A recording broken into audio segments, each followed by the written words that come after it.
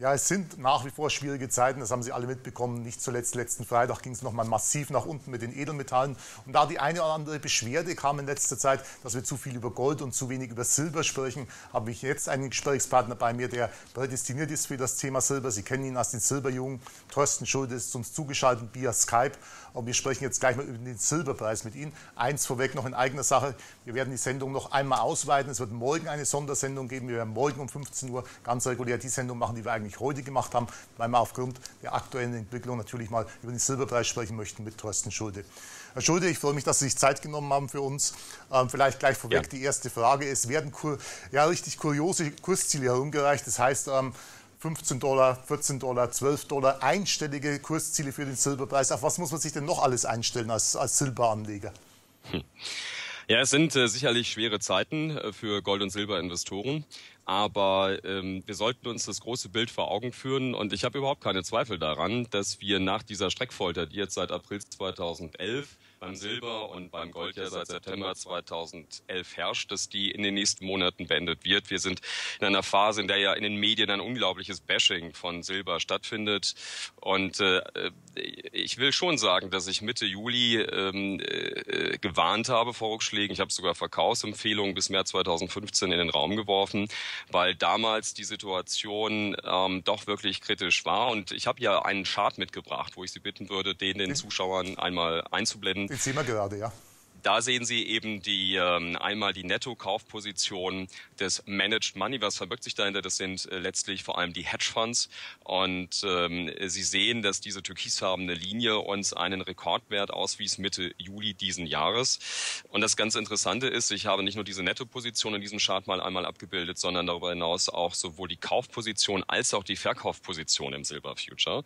Und Sie sehen, dass die rote Linie, also die Verkaufspositionen, jetzt wieder ein Rekordhoch erreicht hatten. Die waren sehr, sehr niedrig Mitte Juli 2014. Und aus diesem Chart schöpfe ich Hoffnung. Sie sehen in diesem Chart nämlich noch etwas anderes. Der Silberpreis hat in den letzten Tagen doch äh, Tuchfühlung aufgenommen mit diesem Abwärtstrend, der im April 2011 begonnen hat. Der verläuft aktuell bei 16,63 Dollar, wird morgen bei 16,60 Dollar verlaufen.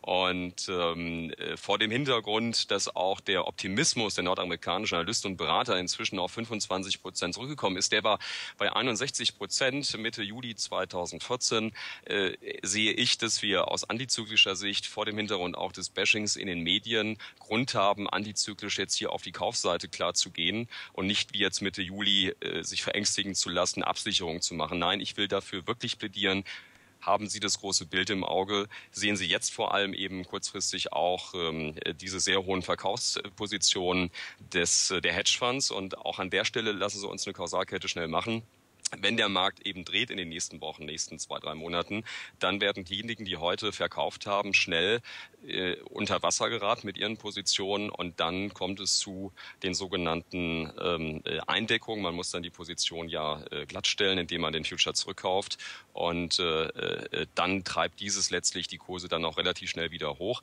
Und äh, von daher, also es besteht überhaupt keinen Grund, jetzt hier den Kopf in den Sand zu stecken. Sie haben mir im Vorgespräch gesagt, es sind im Prinzip drei Märchen, die momentan herumgereicht werden und mit denen Sie auch ein bisschen auf, aufräumen möchten. Ich muss einfach mal sagen, das müssen wir mal klarstellen, dass das funktioniert so nicht. Was, was, was sind das für drei Märchen, die Sie, die Sie da ausgemacht haben? Ja, ich habe auf dem Goldkongress am Samstag in Stuttgart auch vor, da waren immerhin über 650 Leute, was mich äh, eigentlich äh, wunderte, dass in dieser schweren Phase doch äh, das Interesse für Gold und Silber nicht abebbt. Im Gegenteil, doch durchaus immer mehr aufwachen und kritische Fragen zum Weltfinanzsystem stellen. Ich habe diese drei Märchen dort klar benannt und ich werde auch eine umfassende Sonderstudie noch in dieser Woche vorlegen, wo ich mit diesen Märchen aufräumen will. diese drei Märchen sind folgende. Das eine ist, dass man uns erzählt, 2010, 2011 2011 sei Gold in einer ultimativen Blase gewesen. Ich will nur hier einen Vergleich in dieser Sendung machen. Wir haben einen Zuwachs der Geldmenge in den 34 Industriestaaten, die der OECD angeschlossen sind und den sechs großen Schwellenländern. Einen Zuwachs der Geldmenge im ersten Halbjahr gesehen von ähm, äh, über 3.100 Milliarden US-Dollar.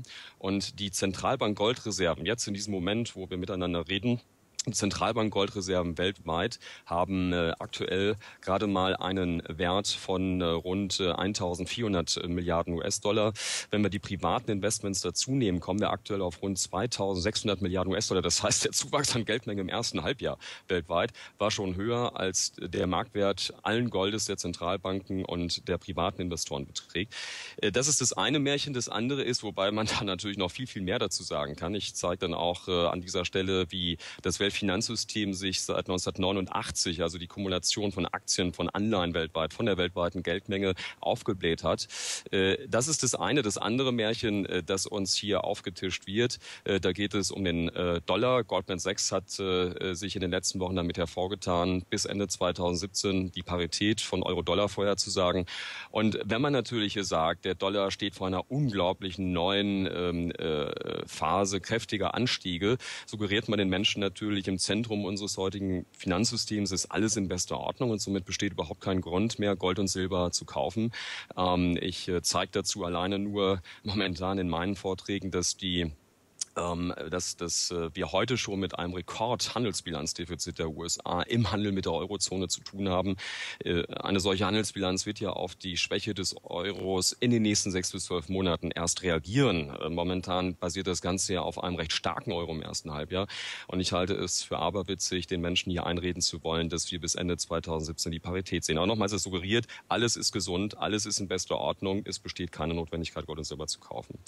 Und ähm, äh, ich halte es für, für, für ganz, ganz wichtig, ähm, den Menschen heute vor Augen zu führen, äh, dass noch ein, ein drittes Märchen erzählt wird, welches auch letzte Woche den Eingang gefunden hat in Mainstream-Tageszeitungen. Äh, die uns allen sehr, sehr geläufig sind. Und damit meine ich, dass angeblich anstehende Leitzinserhöhungen in den USA im kommenden Jahr die Totenglocke für Gold und Silber läuten werden. Ich zeige da einen sehr, sehr langfristigen Chart, der sehr, sehr deutlich macht, dass die großen Aufwärtsbewegungen in den 70er Jahren, aber auch in den letzten zwölf Jahren mit steigenden Leitzinsen einhergegangen ist. Also Sie sehen auch hier, das ist ein Märchen.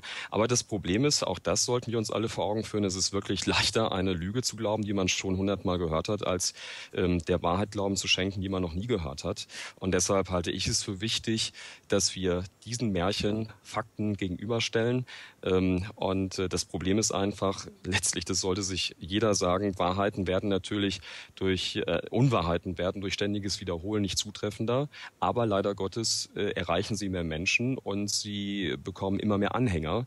Und deshalb ist es so wichtig, dass wir in einem solchen Interview zumindest mal an der Oberfläche kratzen und sagen, sagen, dass das hier wirklich eine Märchenstunde für die Weltöffentlichkeit ist, die aber momentan verfängt. Also die Goldman Sachs Leute, die haben mit ihrer Leerverkaufsempfehlung auf Gold vom 10. März 2013 und in den letzten Wochen mit ihren Aussagen zur Parität des Dollars und zum anstehenden Siegeszug des Dollars momentan in den Medien und an den Märkten die Deutungshoheit.